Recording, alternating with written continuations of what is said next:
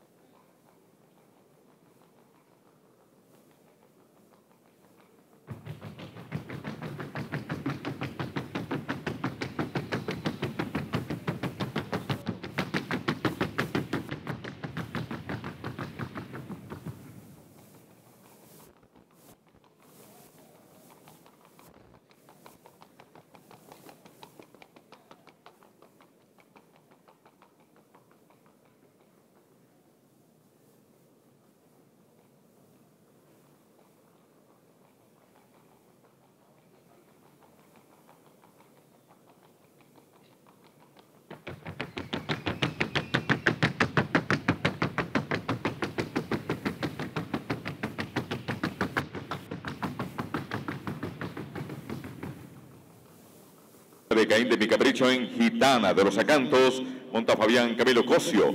Con el número 2 consentida de la Tebaida, la hija de Onis en Maraca de la Tebaida monta Manuel Abello. Con el número 3, Cyborg de Bonanza, la hija de Polémico de las Leyendas en Kiwi de Santa Elena monta Juan Carlos López Gómez.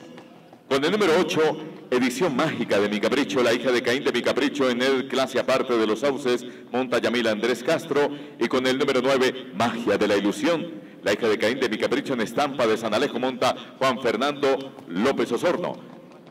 Parte final de la categoría 5 ejemplares para la parte final de la categoría de yegua de 48 a 60.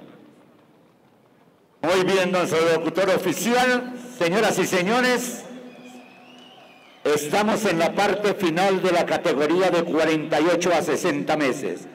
Qué bueno que esta fiesta de nuestro caballo hoy en la trocha ya siendo las 10 y 30 de la mañana, esté muy bueno la entrada de público.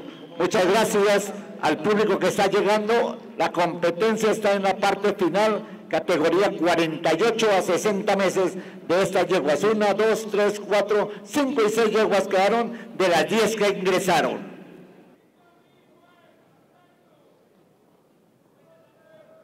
No, no hay comparaciones de diligencia formato 2.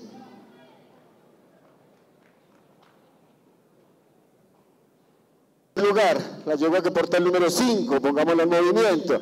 Bonita en su desempeño, de gran calidad, varía el ritmo en algunos momentos desarrolla más frecuencia, en otros momentos baja la intensidad. En la madera se observa y se escucha muy bien. A la hora de hacer los giros y en la pista blanda cuando nosotros tenemos la posibilidad de ver las cinco o seis yeguas una detrás de otra en la arena, ahí podemos nosotros establecer claramente el nivel de frecuencia que desarrolla un ejemplar comparado con el otro o la intensidad o el nivel de ejecución. Y ella lo merma en algunos momentos, no es constante a través de toda la categoría. Para ella en esta oportunidad, el tercer lugar.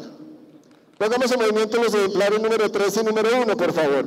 Son las yeguas que a nuestro juicio han hecho el mejor papel, el mayor desempeño y vamos viendo nosotros las diferencias. Las dos con buen fenotipo, las dos con bonita mecánica y encontramos nosotros una yegua que desarrolla mayor frecuencia, la otra yegua en algunos momentos nos baja la intensidad, ella se ve de muy bonito conjunto, bien puesta, muy ordenada, pero baja la intensidad, baja la frecuencia. La otra yegua mantiene ese nivel girando y en línea recta con gran precisión. El tono que nos cuando pasa por la madera, en esa exactitud de la diagonal de la trocha, en los cuatro tiempos, le favorece un ejemplar. La otra no tiene ese nivel de precisión ni ese nivel de agilidad. Primer lugar, la yegua que porta el número uno, cinta roja el segundo puesto, la yegua que porta el número tres.